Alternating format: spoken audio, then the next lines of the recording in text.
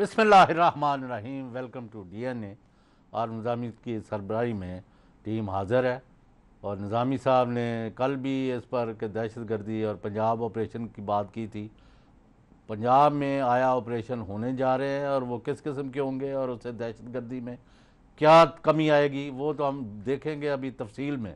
पहले कल जो वहाँ हड़ताल थी और धरना था मार रोड पर, असम्बली के सामने और वहाँ क़्यामत जो बीती और 18 के करीब लोग शहीद हो गए और 100 से करीब ज़ख्मी हुए और पूरा मुल्क जो है आहो बका में और इस अंदोहनाक वाक़ में फंसा हुआ है। कोई चीज़ जो है वो सीधी नज़र नहीं आती और इस सारे फसाद की जड़ तो नहीं कह सकते, लेकिन जो वजह बनी जिनका वहाँ धरना जारी था, जुलूस जलसा जारी था, पाकिस्तान मेडिकल फार्मासिस्ट और यानी जो मैनुफेक्चरर्स हैं, दवाइयों के, ये अठारह तनजीमों की, वहाँ जो इनकी कार्रवाई थी, उसको अब नजायज़ फ़ायदा उठाया दहशत गर्दों ने।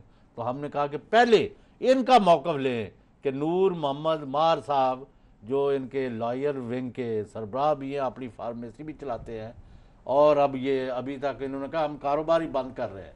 ये जाली दवाइयाँ, ये सब स्टैंड दवाइयाँ, ये महँगी दवाइयाँ एक सूबे में दस रुपए की, दूसरे सूबे में एक हज़ार की। ये बेचने और ये चोर डाकू जो सारे इकट्ठे हुए हुए हैं, ये उनके, उनको बचाने के लिए हड़ताल पर गए हुए थे और मजीद लोग कत्ल करवा दिए इनका इसमें क्या रोल है? जी नूरम मार साहब। जी, पहली बात तो ये कि नाम हड़ताल करने वाले हैं। ये तारीख की पहली हड़ताल थी जिसमें pharmacist केसिस्ट chemist, pharmaceutical manufacturers, homeo, herbal, Ayurvedic, Unani, तिब्बी, cosmetology disinfect सांदा, सुदी के तमाम जो इस कारोबार से वाबस्ता लोग हैं, जो होल सेल का करते हैं, डिस्ट्रीब्यूशन का करते हैं, वो देखिए, आखिर कैसी मजबूरी थी? हमने देखिए 2015 में भी इनसे मुजाकर किए। हम कोई हड़ताली लोग नहीं है कि आके सड़क पे बैठे। आपको आपको परमिट दे दिया जाए कि जहर लोगों को खिलाएँ और वो मरे। स्टैंड जो है वो सब स्टैंड आपके सामने है। देखिए नोटिस लिया देखिए स्टैंड का जो मसला है उसमें तो गवर्नमेंट की इतनी ना अहली है कि देखिए गवर्नमेंट ने अभी तक हमारी ड्रग रेगुलेटरी अथॉरिटी जो है उसका सिस्टम कर सके। वहाँ पे पाँच पाँच सालों तो से माफ़ करना। जी, क्या जी, ये अच्छा। मुझे इतना गुस्सा चढ़ा जी, जी, जी जनाब देखे एक जो बंदा तो ये है कि ये वहाँ बैठ के और दहशतगर्दों को साड़ में ऑपरेट करना ऑपरेट करना पड़ जनाब मौका मिल गया। बात ये नहीं है। जनाब क्रॉस पे वैसे भी ठीक है। दूसरा ये एक आपकी इसेंशियल सर्विस है कि आप देखिए कि आपने सारे ड्रग स्टोर्स बंद किए हुए हैं। अब मसला मेरा गला ही ख़राब है। सर तो मुझे लोजेंजेस ही चाहिए फ़र्ज़ करें प्रोग्राम करने के लिए वो भी मुझे नहीं मिलती। इसी तरह जिन लोगों को लाइफ सेविंग ड्रग चाहिए तो ये जुल्म नहीं है आप जो कर रहे हैं। तो वो जो डे एंड नाइट सर्विस करते हैं। सर अगर ये जो कानून बनाया है दुनिया के किसी खत्ते में कानून तो साइन हो गया आज बाई द हाँ? कानून तो साइन हो गया ना साइन हो, साइन हो गया। इन्होंने तो इतना भी रहम नहीं किया। हमारा सोग वाले दिन जो है इसमें क्या सुख है आप? आपके कितने लोग शहीद हुए जी हमारे छह लोग इसमें शहीद हुए हैं और हमें सबकी शहादत पे अफसोस है और बड़ा सानिया हुआ है। देखें बात यह है कि कानून वो बनाना चाहिए जो दुनिया के किसी खत्े में तो मौजूद हो ना। अगर हमारा अपना फार्माकोपिया नहीं है। हमारी ड्रग रेगुलेटरी अथॉरिटी जो है, वो हमारे काम नहीं करती। हमें हर तरह से, अब स्टैंड की बात कर रहे थे, देखें, हमारा बदकिस्मती देखें, हमारी भी पीआईसी केस में अफरोज और अरसुका कंपनी जो मुलविस थी, उसका जो डायरेक्टर था, जिसके अस्सी लाख शेयर्स हैं अफरोज में और अरसुका में, वो अभी हमारा सी ड्राइव है। देखें, बात यह है कि वहाँ पे उस सीओ ड्राइव ने अपनी स्टैंड की, चाइना की अपनी कंपनी रजिस्टर कराई। उसी के स्टैंड जो है ना, बेच रहा है वो। देखिए बात यह है कि होना इंसाफ चाहिए ना। हमारी पाँच पाँच सात से फाइलें वहाँ पे पेंडिंग पड़ी हुई नहीं नहीं ये बताइए जो ये कानून हमारे पास हुआ है इसमें किस चीज़ पे एतराज़ है आपको? हमें एतराज़ है कि भाई जो जाली दवा बनाते हैं ना ठीक है उनको और हम लाइसेंस याफ्ता लोग हैं बाज दफ़ा हादसाती तौर पर भी जो है एक अगर कोई लेबल है या कोई डब्बी है उस पर मिस प्रिंटिंग कोई अगर खुदा ना खासा एक्सीडेंटल तो उस पे भी वही सजा है जो जाली दवा बनाने वाला है। हम कहते हैं जाली दवा वाले को हैंग कर दे। जाली दवा वाले को आप तबाह कर दे। आप फार्मासिस्ट हैं आप लॉयर हैं आप एक मैं समझता एक जिम्मेदार शहरी हैं। जी जी। आप कुरान पर रस देते हैं कि आपकी जो अदारे हैं वहाँ जाली और सब स्टैंडर्ड और यानी मतलब नजायज़ मुनाफाखोरी में मुलवस चोर बाजारी में मुलवस लोग नहीं हैं। जी मैं आपको हल्फिया कहता हूँ जो भी आ, पूरा तारीख निकाल लें कोई भी जो लाइसेंस याफ्ता यूनिट होता है वो कभी भी जाली दवा नहीं बनाता। क्योंकि वो करोड़ों रुपए का अरबों रुपए का लगा के बैठा होता है भाई उसने बर्बाद तो नहीं होना उसका उस पर पूरा स्टेक होता है। देखिए बात वो करनी चाहिए देखिए जो जाली बनाते हैं वो हमारा ही हड़ताल फिर क्यों? ये हड़ताल सिर्फ़ फार्मासिस्ट की है या केमिस्ट की भी है? फार्मासिस्ट की भी है केमिस्ट की भी है फार्मास्यूटिकल मैन्युफैक्चरर्स की भी है और स्टोरों वालों के भी है। बाकी जो जो। वो सारे सारे सारे क्या क्या प्रॉब्लम है? सर केमिस्ट की प्रॉब्लम ये है कि इसमें जो है ड्रग इंस्पेक्टर को इतने ज़्यादा अख्तियार दे दिए गए हैं कि बिल्कुल दुनिया के किसी खिते में नहीं है। क्या इख्तियार है उसमें अख्तियार ये दिया गया है कि जी अगर आपके मेडिकल स्टोर का फार्मेसी का टेम्परेचर खुदा ना खास्ता किसी भी वजह से वो खराब हो गया तो उसके लिए भी तीन साल सजा और तीन करोड़ जुर्माना उस पर किया गया है। भाई तीन करोड़ का तो मेडिकल स्टोर नहीं होता ठीक है? भाई चले किसी दुनिया के खिते में अगर ये सजा हो पहले हमारे मुल्क में वैसे बिजली का बहरान है हम देखें हम इस चीज़ के खिलाफ हैं? इसमें अच्छी बात है कि हर मेडिकल स्टोर पे फार्मासिस्ट होना चाहिए। हम मानते हैं। हाँ, दवाइयों के ऊपर लिखा होता है keep it a cool place जी। अगर आपकी आप अगर जनरेटर है तो काम यार। सर देखें अरेंजमेंट है। उस पे जो पहले सजा है उसमें पहले जो कानून मौजूद है उसमें तमाम सजाएँ मौजूद है। ये 1976 का एक्ट है जो वफाक का एक्ट है बाकी सूबे में वही है। सिर्फ़ पंजाब में जो है ना इनको सिर्फ़ जाली दवाएँ नज़र आती हैं। ये सिर्फ़ शो शाह के लिए सारा कुछ ये कर रहे हैं। अमली तौर पे या ना इनके पास हर्बल की कोई लैब है ना मेडिकल डिवाइस की लैब है ना हमने कोई लैब अपग्रेड की है ना हमारे पास पोलियो वैक्सीनेशन की लैब है ना बायोलॉजिकल की लैब तो है। मुजाकरात कर रहे थे वो क्या हुआ? नाकाम हो गए वो? देखें मुजाकरात उन्होंने सिर्फ़ जो है हमारे साथ मुजाकरात अमली तौर पे तो किए ही नहीं। देखिए वो सिर्फ़ बुलाया और बस जी हाँ अच्छा जी हाँ अच्छा यही करना है ऐसी यही करना है। ये उनकी हिट धर्मी है। उन्होंने हमारी एक बात भी कोई एक बात नहीं मानी सर। एक बात मान लेते हैं, अब ये बुरान- ऐसा मजबूर है। ये वक्त खत्म हो रहा है बोरान को खत्म करने का क्या तरीका है? जी इसमें सबसे जो हेड धर्मी है ना ख्वाजा इमरान नजीर साहब की है। उनको फौरी तौर पे मुस्तफ़ी हो और वज़ीर जो से मुस्तफ़ी हो और हम सिर्फ़ अच्छा, वो मुजाकरात वज़ीर आखिरी- अला से करेंगे। आखिरी क्या बात हुई? डीआईजी मुबीन जो शहीद हो गए कल उन्होंने इनसे कहा कि दहशत गर्दी का खतरा है आप हड़ताल खत्म कर दें। इन्होंने कहा नहीं हमने नहीं करनी। नहीं हम आलमोस्ट एग्री हो गए थे ऐसी बात नहीं है। हमने कहा कि ठीक है आ- अगर हमें वज़ीर से मुलाकात करा दे हमारी ठीक है और वो गुफ्तगू ही कर रहे थे और हम तकरीबन जो है वो मुजाकरात के लिए जाने वाले थे तो ये हादसा हो गया। ठीक है? बात की देखें मुजाकरात का दरवाज़ा तो खुला हुकूमत ने हाथ खींच ली है मुजाकरात से।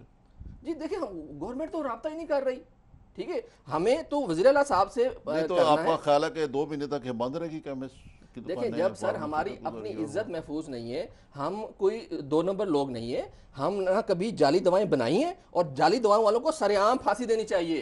जो गलत दवाएँ बनाते हैं बेचते हैं उनको सरेआम फांसी देनी चाहिए। उनमें कवानीन सजाएँ पहले से भी मौजूद है अभी भी मौजूद है। इनका मौकफ ये है कि कानून बनाए आप लेकिन वो उसमें कोई ये ना हो कि आटे के साथ घुन भी पिस जाए कि जो लोग ठीक काम कर रहे हैं अगर इनकी वो मिस यूज़ ना हो। नहीं आ, लेकिन तो ये है ठीक रहे हवा का हवा बिगड़ा हुआ है नहीं अगर एसी बंद हो गया है तो बिजली ने तो प्यो दिए यानी ये क्या ज़िम्मेदारी है कि तीन करोड़ जुर्माना तीन साल सजा ये इस तरह की हरकतें ना करें। हाँ, आप मुझे ये बताएँ खैबर पख्तून की आपके पास रिपोर्ट आई है कि वो दस रुपए की चीज़ ले रहे हैं वो ये सौ की ले रहे हैं। ये ये क्या किस्सा है? वो तो आपको डिफेंड किया गवर्नमेंट ने कि हम वही चीज़ जो है वो वो जो हम अच्छी क्वालिटी की ग्रेडिंग होती है उसकी।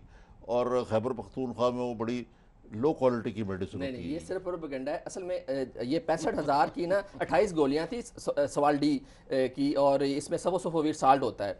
वो हमने कोशिश की एज अ फार्मासिस्ट हमने जब पचपन हज़ार की तो तीन हज़ार दो सौ की हमने बनाई मैंने बनाई मेरे दोस्तों ने बनाई। लेकिन खैर गवर्नमेंट ने तो उसमें भी ना आ लिए फिर उस बहस में नहीं जाते। अब खैबर पख्तूनख्वा ने जब पंजाब ने इससे पहले ग्यारह अप्रैल 2016 को खरीदी वो खरीदी उनचास रुपये तिरानवे पैसे की एक गोली। अब फिर तकरीबन जो इस साल के एंड में, पिछले साल के एंड में सताईस दिसंबर को के पी के ने वो उनचास रुपये तिरानवे वाली पंजाब ने खरीदी उन्होंने खरीदी अड़तालीस रुपये अट्ठासी पैसे की। उन्होंने कम रेट पे खरीदी। पंजाब ने खरीदी पंद्रह करोड़ बहत्तर लाख की। उन्होंने खरीदी चार करोड़ बानवे लाख की। फिर चार दिन के बाद फिर वापस जो है, पंजाब ने खरीदी पचासी करोड़ रुपए की। हालाँकि खरीदनी बहुत कम रेट पे चाहिए। इन्होंने पचपन रुपए नहीं तो चौंतीस पैसे की खरीदी। इसकी का जिन 30 करोड़ का आप 30 करोड़ का टीका ये लगाया। साहब ये ये क्या हो अब तुम 30 भी करोड़ का। तरीका कर दो शबाज जी, मैं 30 भी करोड़ करता का। ए सुन लो फिर। नहीं नहीं नहीं जनाब, गुलाम हुसैन 30 साहब करोड़ का मैंने- सुन ली बात मैं उसी पे इनसे कहना चाह रहा हूँ। तो आप भी बराबर के नहीं नहीं गुलाम हुसैन साहब सेम कंपनी से देखें हम मेरी बात जिम्मेदार देखें गवर्नमेंट जो है गवर्नमेंट जो है, है मैं जनाब जनाब हाँ मैं ये कहना चाह रहा हूँ आपसे। कि आपके मौ- मौक़िफ़ की तईद ही कर रहा हूँ कि बजाय कि हुकूमत अपनी गलती मानती उन्होंने ये तसर देना शुरू कर दिया कि जी वो सब स्टैंडर्ड है इनका मैार बड़ा आला है। इसका मतलब है कि यहाँ पे बड़ी करप्शन हुई है इस मामले में। जी सर सेम कंपनी से खरीदी गई है। केपीके ने भी सेम कंपनी से ली है पंजाब ने भी सेम कंपनी से ली है। सेम दवाई है। उसकी रेटिंग जो है वो बहुत नीचे थी इसकी बड़ी ऊपर थी। आप नहीं नहीं नहीं सर दे सकते जो जो ये डॉक्यूमेंट्स दे सकते जी बिल्कुल मैं डॉक्यूमेंट देता हूँ। बुलाते हैं। बिल्कुल डॉक्यूमेंट गवर्नमेंट को भी और चीफ मिनिस्टर के नुमाइंदे आपको जनाब दोबारा आपके पास ये शुमार बिल्कुल शुमार है। बिल्कुल शुमार है। और हम पंजाब गवर्नमेंट के नुमाइंदे को बुला लेंगे जी बुला लेते हैं आपका कराते हैं। लेकिन ना पंजाब गवर्नमेंट को लूट मार लाइसेंस देना चाहते हैं और ना आपको लोगों को कत्ल करने का जाली दवाई हो या क्यों गवर्नमेंट का अवाम के साथ खलूस देखें। हमारे मुल्क में अद्वियात जो है प्राइस कंट्रोल होता है। सत्तर साल में हम ऐसी वेबसाइट नहीं बना सके जिसपे प्राइस लिखे हो। कोई भी ड्रग इंस्पेक्टर जो है ना प्राइस चेक कर सकता है ना दवा की निशान चेक कर सकता है। हमारे पास कोई ऑफिशियल रिकॉर्ड ही नहीं है। अभी ड्रैप ने अच्छा चले, चले आप अपना इंसानियत के नाम पर पाकिस्तानियों के नाम पर जो लोग शहीद हो गए जिनमें आपके भी छह मेंबर हैं पुलिस अफसर हैं जवान हैं आम शहरी हैं खातून हैं आप उनके नाम पर हड़ताल कॉल ऑफ़ कर दें। हम चीफ मिनिस्टर से कहते हैं कि आपसे बैठ के मामले का कोई म्यूचुअली एक्सेप्टेबल हल निकाला जाए। क्यों जी? जी बिल्कुल। ये आप अपने साथियों से मशवरा करके और कल दोबारा आए हम इसको दोबारा बात करेंगे। Thank you for your time Nizami साहब हमने वहाँ जाना है मेन इशू जो है दहशत गर्दी के खिलाफ जंग। और आया पंजाब में ऑपरेशन हो रहा है कि नहीं? ये आपका व्यू लूँगा। ब्रेक के बाद करते हैं। After short break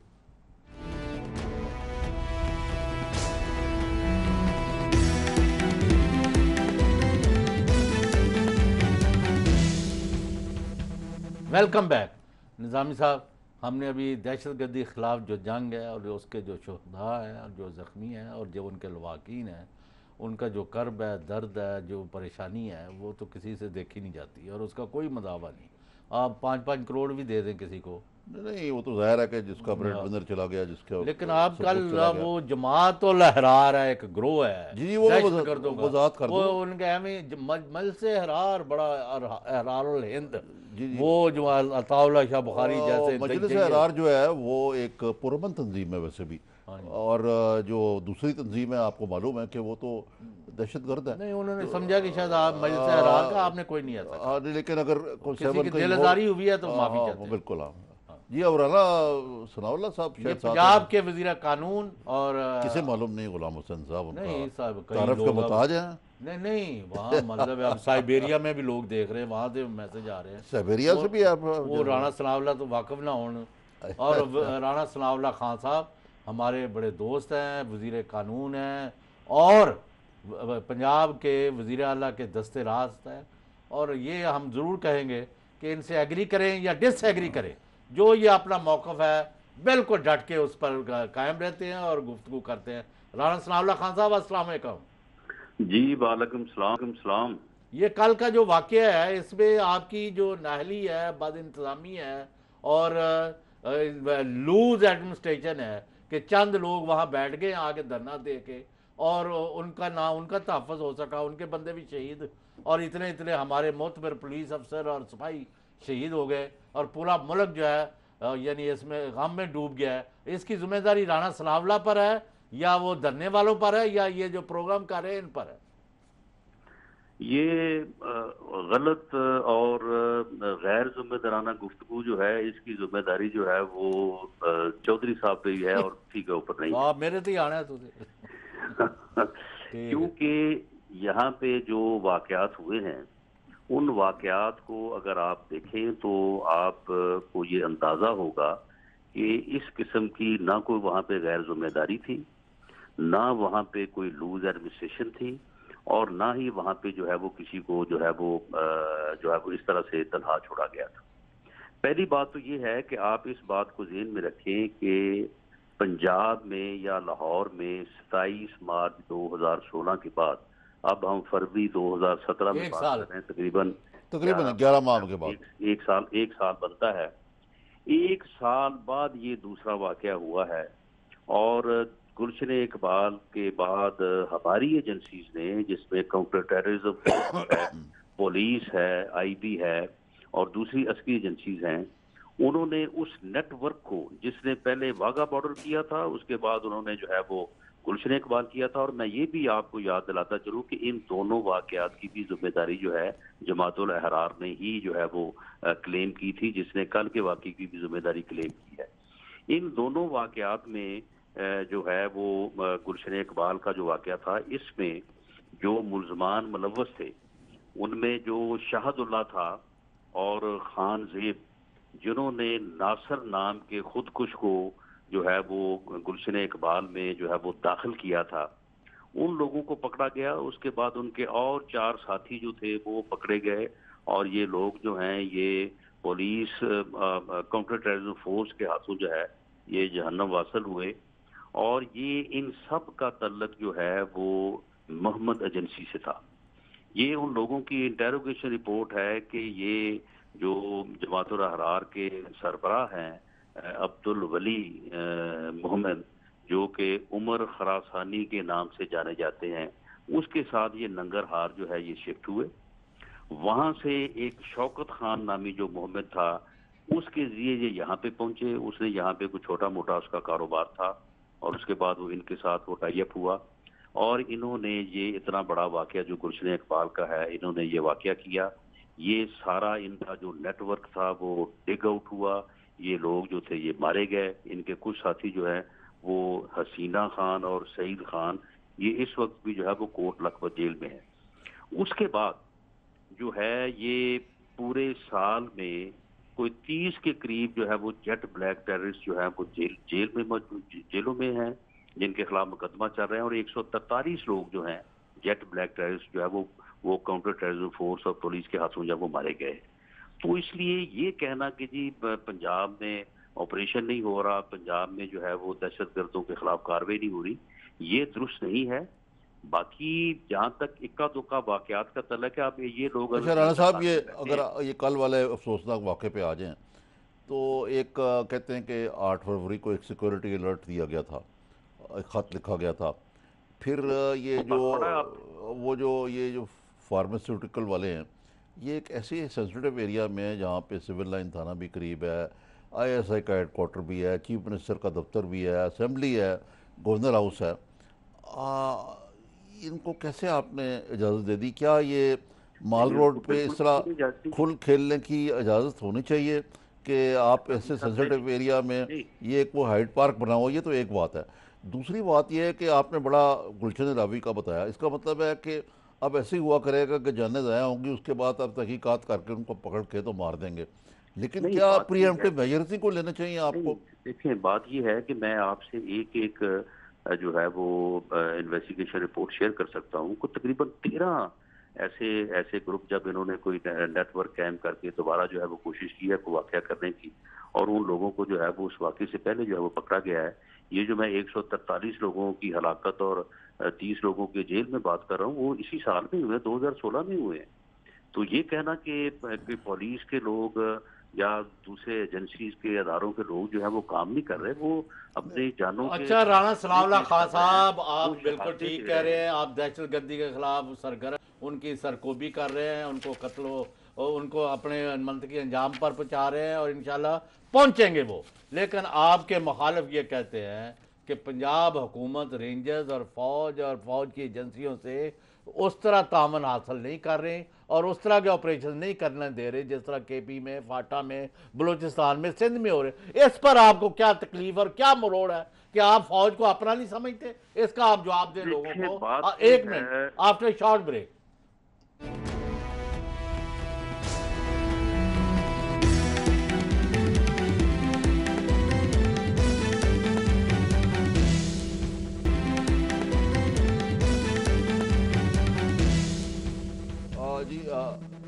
जी राना साहब मैं जो गुलाम हुसैन साहब ने सवाल किया सिर्फ़ उसमें मैं ये इजाफा करना चाहूँगा कि एक आम तसर तसर ये बन गया है कि हुकूमत पंजाब जो है वो कहती है कि जी हमारी जो पुलिस और जो सी टी डी है काउंटर टेररिज्म डिपार्टमेंट ये इतना एफिशिएंट और अहल है कि हमें ना रेंजर्स को यहाँ अख्तियार देने की ज़रूरत है ना उनकी मौजूदगी की ज़रूरत है ना ही कोई और पैरामिलिट्री फोर्स की ज़रूरत है।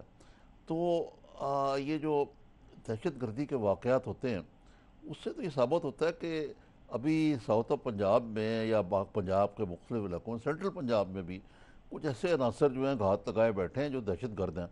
तो इस जमन में आप एजेंसियों का फौजी या नीम फौजी जो तंजीमें वो अदारे हैं उनका तावन क्यों नहीं हासिल करते? और अब आर्मी चीफ ने आज इंडिपेंडेंटली ऐलान कर दिया। वो तो कई दफ़ा कर चुके हो ना। देखिए मामला ये है मैं आपने जो भी पॉइंट्स उठाए हैं मैं उनका वन बाय वन जो है वो मैं अर्ज़ कर देता हूँ। पहली बात तो आपने ये की थी कि इन फार्मास्यूटिकल कंपनीज़ वालों को जो है वो आपने जो है वो वहाँ पे एहतजाज करने की इजाज़त क्यों दी? ये बिल्कुल किसी ने उनको इजाज़त नहीं दी। उनको जो है वो बार बार समझाया गया उनकी मिन्नत भी की गई कि आप जनाब मेहरबानी करें एहतजाज ना करें जो आपका मामला है हमारे साथ बैठे हम उसको रिजॉल्व करने को तैयार हैं। और वो इसके बावजूद जो है वहाँ पे एहतजाज के लिए जो है वो जमा हुए। दूसरी बात ये है कि ये जो खुदकुश हमलावर है, ये वहाँ पे इसका टारगेट जो है, ये मुजाहरीन नहीं थे।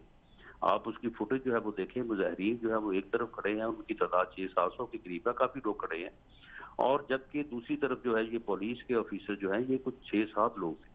वो खुद कुछ बम्बार जो है, वो सात सौ की तरफ़ नहीं गया वो सात की तरफ़ हाँ ये तो उन्होंने कहा भी है राणा साहब। की आड़ में किया है ना। उनकी आड़ में किया हम कब कह रहे हैं कि वो टारगेट इसका इसका जो हदफ है वो जो है वो पुलिस थी। दूसरा मामला जो आप फरमा रहे हैं कि जी हम रेंजर्स की मदद या फौज की मदद देखें फौज भी हमारी है रेंजर्स भी हमारे हैं Askari agency civil agency CTD CTD को किसने ट्रेन किया है? सीटीडी को फौज ने ट्रेन किया है। सीटीडी का जिस दिन जो है वो पासिंग आउट थी कौन आया था वहाँ पे? वज़ीर आज़म के साथ उस वक्त के आर्मी चीफ जो है वो जनरल रहील शरीफ थे। तो ये सारे, और इनकी ट्रेनिंग भी सारी जो है वो फौज ने की है। मामला ये है कि पंजाब में जो सिविल अदारे हैं, वो पूरी तरह से जो है वो अपना काम कर रहे हैं और जहाँ जहाँ कहीं ज़रूरत होती है, रेंजर्स की मदद ली जाती है, फौज की मदद ली जाती है। जब ये गुलाम रसूल छोटू वाला मामला था तो आपके सामने है कि जब उनके पास रॉकेट लॉन्चर और इस किस्म का असला था तो क्या वहाँ पे जो है वो फौज की मदद नहीं दी गई? अब भी जो ऑपरेशन हो रहे हैं, इनमें से जो कॉम्बिंग ऑपरेशन हो रहे हैं कॉम्बिंग ऑपरेशन पिछले तीन माह में कुछ तकरीबन जो है वो साढ़े तीन हज़ार के करीब कॉम्बिंग ऑपरेशन हुआ है। उनमें सैकड़ों ऑपरेशन ऐसे हैं जो कि रेंजर्स ने अकेले किए हैं सीटीडी ने और पुलिस ने अकेले किए हैं और सैकड़ों ऑपरेशन ऐसे हैं कि जिनको तीनों फोर्सेस ने जो है वो मिलके किया है। बाद ऑपरेशन में अस्करी एजेंसीज की लीड होती है बाद में सिविल एजेंसी की लीड होती है। तो ये पूरी कोऑपरेशन के साथ जो है ये तमाम अदारे जो है वो पंजाब में काम कर रहे हैं। इसीलिए पंजाब में जो है वो सूरत हाल जो है वो बेहतर हुई और एक साल से जो है वो कोई वाक्य जो है वो पेश नहीं आया। मामला दरअसल ये है कि हमारे जो मुखालफी हैं उनमें से कुछ लोग ऐसे हैं कि वो अपनी इस घटिया और मनफी सियासत को उन्होंने कल इस इंतहाई दर्दनाक वाक्य के ऊपर भी जो है वो उन्होंने नहीं नहीं लेकिन राणा साहब आज आर्मी चीफ ने आर्मी चीफ आए लाहौर जनरल कमर जावेद बाजवा उन्होंने इजलास किया और उन्होंने कहा कि हम नहीं छोड़ेंगे दहशत गर्दों को और कॉपरेशन लॉन्च तो करेंगे। जनूबी पंजाब में कोई फैसला कोई लड़ाई होगी? तो ये आप शामिल होंगे इस लड़ाई में या आप लीड करेंगे और फौज के या आप लीड करेंगे और फौज आपके साथ होगी। ये बात ये है कि अगर आज ये कहा जाए कि पंजाब हुकूमत या पुलिस शामिल नहीं होगी तो मैं समझता हूँ कि इससे बड़ी ज़्यादा और क्या ये क्यों नहीं शामिल होंगे? अब ये बताएँ कि वो अलहदा अलहदा क्यों ऐलान आया था? नहीं मेरा मकसद है आप एक पेज पे अगर है तो मिल के कोई नज़र आए कि जी हाँ ये हम नेशनल एक्शन प्लान पे इम्प्लीमेंट कर रहे हैं और उनको छोड़ेंगे जी मैं ये अर्ज़ कर रहा हूँ कि जो अल्फाज आज चीफ ऑफ़ आर्मी साहब ने कहे हैं सेम वही अल्फाज आज जो मीटिंग ली है लॉ एंड ऑर्डर से मुतलका वजी अजम पाकिस्तान। साहब ने उनके भी यही अल्फाज और आज उन्होंने यानी थोड़ी देर पहले ये भी कहा आर्मी चीफ ने निज़ामी साहब कि पीएसएल जो है वो जो यहाँ होना क्रिकेट का उसको सबुटाज करने के लिए दुश्मन ने कराया है तो इसको हमने लाजमी करना है और पूरी सिक्योरिटी दी जाएगी और दुश्मन को नहीं छोड़ेंगे और उनका पीछा किया ये बड़ी अच्छी बात है लेकिन हाँ। ये मुश्किल नज़र आता है मुझे वैसे अब नहीं नहीं होना चाहिए। परसेप्शन पे और राणा साहब फिर अब ये राणा साहब नहीं राणा साहब आप मुख्तसर ये बता दें कि आया मियाँ मोहम्मद शबाज शरीफ की वजारत आला की क्यादत में पंजाब हुकूमत फौज और रेंजर्स और एजेंसियों के साथ मिलके एक लार्ज स्केल ऑपरेशन करने जा रही है या अभी भी थोड़ा थोड़ा और हाफ़ हार्टेड काम होगा? शौरी साहब लार्ज स्केल ऑपरेशन जो है आप यकीन करें कि कोई कसर ना उठा रखी गई है ना उठा रखी जाएगी।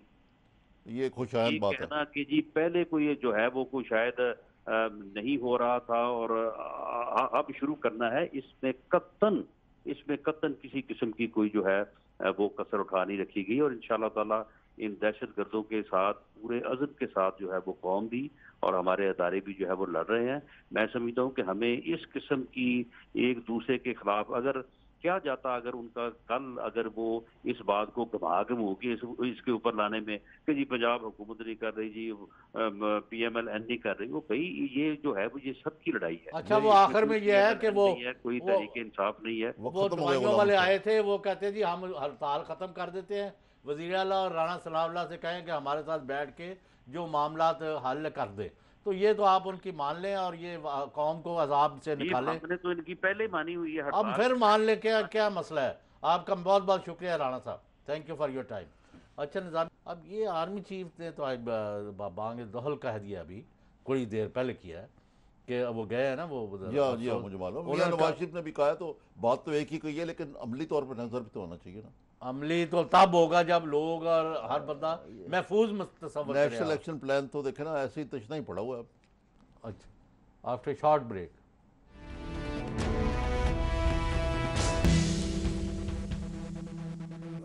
welcome back Nizami साहब। वो army chief general Qamar Bajwa साहब ने तो ये कहा है कि पी एस ये जो सुपर लीग का मैचेस हैं लाहौर में फ़ाइनल होगा और उसकी सिक्योरिटी भी दी जाएगी और मुझे पूरे यकीन है कि लोग भी निकलेंगे कोई इशू नहीं है। आपको याद है वाघा पर उन्होंने हमला किया तो अगले दिन उससे दुगने लोग गए। तो ये कोई बात नहीं हम नहीं डरते। लेकिन ये जो है ये जो हो रहा है मैं कता खलामी आपके डरने की बात नहीं है। बात यह है कि आईसीसी इंटरनेशनल क्रिकेट काउंसिल और जो प्लेयर्स हैं वो वो आएँगे या नहीं आएँगे? ये आमिर सुहेल साहब है ना बड़े साहब क्रिकेटर बड़े अच्छे। हाँ जी। तो उनसे हमने पूछ रहे हैं कि ये युवा खेलने के लिए मैच हो रहे हैं। या क्रिकेट को एडवांस हम तो ये समझते हैं कि पाकिस्तान में क्रिकेट की बहार आने वाली है। यहाँ तो ज्वारिये और बुकिए जो है वो ही हर तरफ़ नज़र आते हैं। ये कौन कौन मुलवस है आमर सोहेल साहब? सबसे पहले सबसे पहले जी अस्सलाम और मैं ये कहना चाहूँगा जी कि जब पीएसएल की ये करवाना चाह रहे थे पीएसएल जो है वो बहुत देर से जो है वो प्लान बन रहा था। लेकिन जो भी चेयरमैन आता था वो ये कहता था कि यार हम अगर पीएसएल दुबई में कराएँगे इसका फ़ायदा क्या है? तो हम इसको पेंडिंग कर देते हैं। लेकिन ये नजम सेठी साहब आए थे, इनको पता नहीं क्या जल्दी थी, ये उधर ले गए। अब इन्होंने ये अपना होमवर्क नहीं किया कि पूरी दुनिया में सुपर लीग्स होती हैं, Australia South Africa England and even West Indies जैसे मुल्क में, लेकिन वहाँ पे कोई इस तरह की बात नहीं आती। लेकिन जब सब कॉन्टिनेंट में हुआ बांग्लादेश श्रीलंका इंडिया यहाँ पे सुपर लीग्स में मैच फिक्सिंग की आवाज़ें आई। और श्रीलंका ने तो अपनी लीग बंद भी कर दी थी, और बांग्लादेश ने भी बंद की और एक दो साल के गैप के बाद स्टार्ट की। जब इनको ये पता था कि ये सारा कुछ है सब कॉन्टिनेंट में और ये दुबई ले गए और इन, इनको अपना पूरा प्लान जो है वो एयर टाइट करना था अनफॉर्चुनेटली इन्होंने किया नहीं। पता नहीं क्या रीजन है। अच्छा आवर साहब ये मैं पूछ रहा था कि ये जो डुओ है शेर यार और सेठी साहब का इन्होंने जो हमारी मेन स्ट्रीम क्रिकेट है यानी test cricket one day cricket T twenty cricket इसका तो बेड़ा गर्क कर दिया है। तो पीएसएल के पीछे लग पड़े या तो इसको ठीक करे पाकिस्तान शायद वर्ल्ड कप खेल भी पाए या ना खेल पाए। तो ये आ, सारे क्रिकेट का आवा आवा बिगड़ा हुआ है। इसकी बुनियादी वजह ये क्रिकेट की लीडरशिप है या लालच है पैसे बनाने का? ये क्या है मसला? देखिए आपका बहुत ही वैलिड क्वेश्चन है जी कि ये इन्होंने बेड़ा गर्क कर दिया है। पीएसएल इनको कराने की जल्दी थी। टेस्ट मैच में आप नीचे जा रहे हैं वनडे में आप नीचे जा रहे हैं। टी ट्वेंटी इनको कराने की ज़रूरत है। आपको मेच्योर्ड प्लेयर चाहिए। टी ट्वेंटी पे मेच्योर्ड प्लेयर नहीं मिलते आपको। इनको बहुत जल्दी थी रॉन्ग रीजन और जब आप इन दोनों की आ, आ, आ, बात करते हैं तो देखिए जब क्रिकेट इलिटरेट लोग आके क्रिकेट को चलाएँगे तो क्या होगा? और दूसरी चीज़ मैं ये कहूँगा कि इन्होंने नुकसान भी बड़ा पहुँचाया है। आप आप ये देखें कि मैं तो आपसे रिक्वेस्ट करता हूँ आप पावर जो है पाकिस्तान की उनको कहें कि ये नजम सेठी का मुँह तो बंद करवाएँ। ये जब भी उठता है कहते हैं इंटरनेशनल क्रिकेट आ रही है या पीएसएल पाकिस्तान में करवाएँगे कोई ना कोई अनटूवर्ड चीज़ हो जाती है पाकिस्तान में। तो इन्हें इन्हें इनको पहले बैठ ये किन के लिए काम कर रहे हैं ये लोग? नहीं लेकिन ये जो शेर यार साहब हैं ये बाबा जी ने अपने सरकारी खर्चे पे अपना बाईपास भी करा लिया अस्सी पचासी हज़ार पाउंड भी खर्च हो गए हैं। ये घर क्यों नहीं जाते? क्या इनके बगैर क्रिकेट नहीं हो सकती पाकिस्तान में? ना आपको कोई या इसी तरह आपके जो कैप्टन है वो भी अब उस उम्र के हिस्से में पहुँच के हुए हैं जो क्रिकेटर रिटायर हो चुके हुए होते हैं। तो ये किस तरह का हमारा सेटअप है? मैं तो क्रिकेट का कोई ज़्यादा माहिर नहीं हूँ लेकिन जो मुझे नज़र आता है कि Pakistan was one of the top teams और अब हम we are the on the bottom as की क्या वजह है? देखिए जब आपकी हुकूमतें कॉम्प्रोमाइज आएँगी तो वो कॉम्प्रोमाइज होकर कॉम्प्रोमाइज लोगों को ही लगाएँगे। और जब आप शहरियार की बात करें तो मेरा ख्याल है इनको तो गवर्नर सिंह लगा देना चाहिए था। नहीं नहीं हाँ। को लेके आना चाहिए हाँ ये ये तो बात आपकी ठीक है लेकिन आप कोई मुस्बत हाल बताएँ कि किस तरह ठीक किया जा सकता है क्रिकेट को? देखिए निज़ामी साहब आप क्रिकेट एडमिनिस्ट्रेशन जो है वो टाइम टाइम टू टाइम जो है उसमें आपको डिफरेंट पर्सनालिटीज चाहिए डिफरेंट आपको स्किल सेट चाहिए। कई दफ़ा आपको मार्केटिंग वाला बंदा चाहिए जब आपने क्रिकेट को आपकी स्टोर कर रही होती है तो उसने और ज़्यादा पैसे लेके आने होते हैं। अच्छा एस्पेक्ट के ऊपर हमारा आपको क्रिकेटर्स लेके आने हैं। थैंक यू सर आज वक्त बड़ा मुख्तर था। ये बाकी जो बड़े अफसोसनाक वाक़ात हुए हैं मुल्क में, उसकी वजह से हम ज़्यादा इस पर बात नहीं कर सके। तो गुलाम हुसैन साहब तो बुनियादी तौर पर यह बात ठीक है यार कि ये जान छोड़नी, छुड़ानी चाहिए इनसे।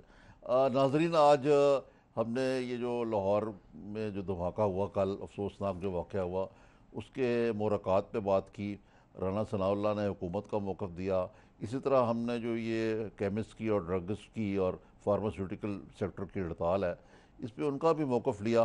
और राना साहब से भी दरख्वास्त की कि चीफ मिनिस्टर बैठ के इनसे मामला तय करें, क्योंकि ये आवाम की सेहत से खेल रहे हैं और ये हड़ताल जितनी जल्दी ख़त्म हो है और तीसरे ये कि ये बात कि उनको माल रोड पे एहतजाज की इजाज़त किसने दी? राना साहब कहते हैं कि उन्हें इजाज़त नहीं दी, लेकिन उनको रोकना तो हुकूमत का ही काम था। तो इन सारी बातों के पेश नज़र हुकूमत को अपने जो रिट है, उसको बनवाने के लिए बहुत सख्ती भी करनी पड़ती है। वो करना बेहतर है इसी बजाय कि जैसे राना साहब ने कहा कि पुलिस वाले इसके टारगेट थे तो पुलिस अफसरान को टारगेट क्यों बनने दिया? इसके लिए हुकूमत पंजाब ही जवाब दे। नाजरीन खुदा हाफ़ कल इन आपसे दोबारा मुलाकात होगी।